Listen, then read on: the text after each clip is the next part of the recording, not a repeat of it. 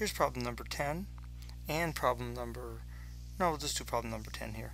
Uh, at what point does the curve um, y2, uh, y equal x squared have a normal line of slope 2? Well, let's start out by saying, well, y prime is going to be 2x. And if we have a normal line slope of 1 half, that means the tangent line slope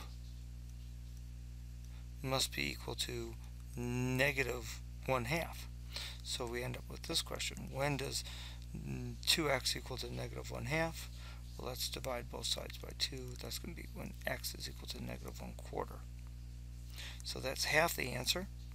Uh, that's the x coordinate. Of course, we have to find out what the y coordinate is.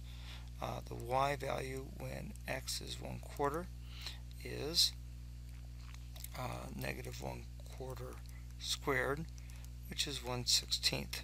So the point is going to be negative 1 quarter comma positive 1 16th.